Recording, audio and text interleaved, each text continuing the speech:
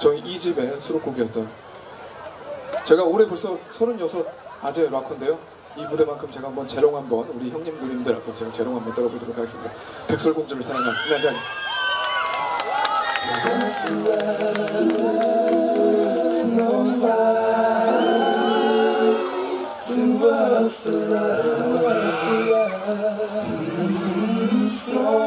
자 형님 누님들 우리 동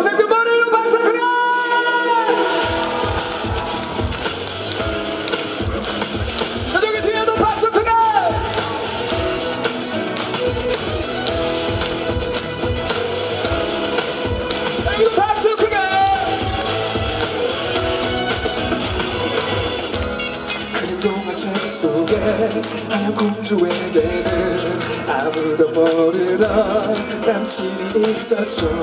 팀을 돌린 거울에 비뚤어진 왕비가 그를 안장이로 바꿔 그를 쫓아내버렸어요. 여섯 난장이들은 그날부터 일곱 난장 50cm는 여기 내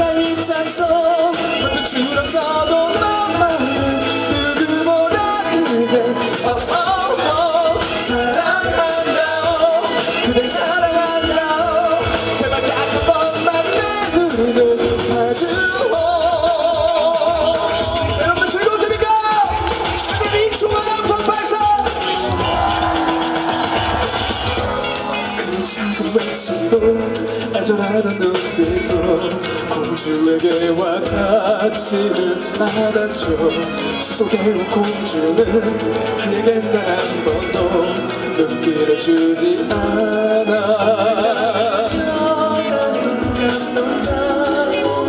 키스를 위해 온 왕자를 보고 난 장인은 엉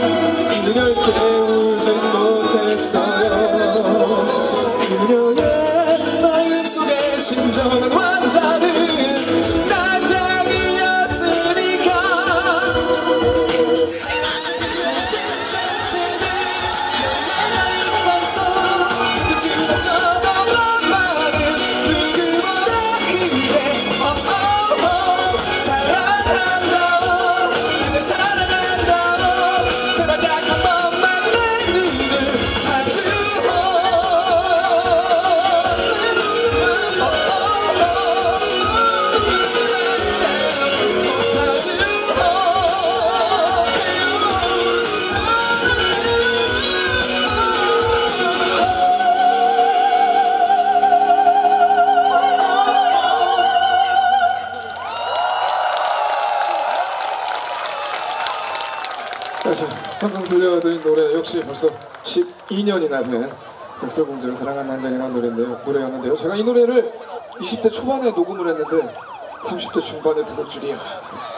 예쁜 척하기가 몹시 힘듭니다